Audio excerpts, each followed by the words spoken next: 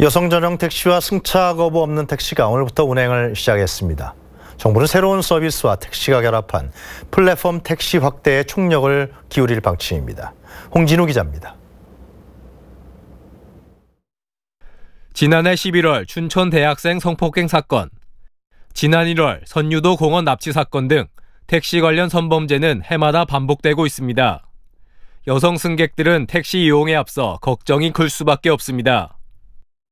저만 해도 이제 약간 뭐 밤에 탈 때 좀 걱정도 많이 되고 그런 것들이 조금 없어질 수 있으면 저희가 좀 나을 텐데 그래서 여성들한테는 사실은 택시 사는 일이 아주 완전히 안전한 일은 아닌 것 같아요.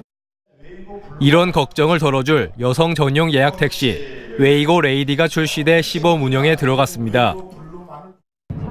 지금 보시는 것이 여성 전용 택시인 웨이고 레이디입니다.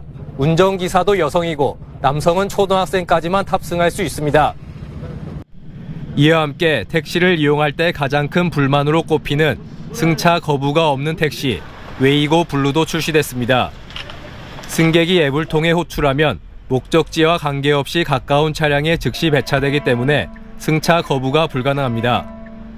공기청정기 가동과 스마트폰 무료 충전, 고객이 원하는 음악 재생 등 각종 편의 서비스도 제공해 기존 택시와 차별을 뒀습니다. 택시 시장에 새로운 변화의 바람이 될 플랫폼 택시는 완전 월급제를 통해 택시 기사의 안정된 근로 환경도 만들었습니다.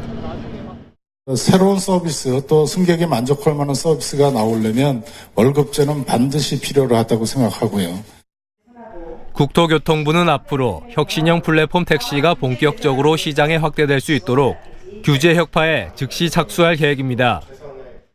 근로자의 처우를 개선하고 택시와 플랫폼의 결합으로 국민이 원하는 새롭고 다양한 교통 서비스가 실현될 수 있도록 과감하게 규제를 없앨 계획입니다.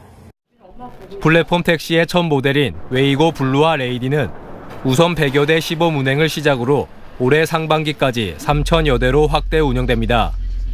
이 밖에 폐택시, 교통약자 지원, 심부름 서비스 등 다양한 플랫폼 택시들이 올해 하반기에 출시될 예정입니다.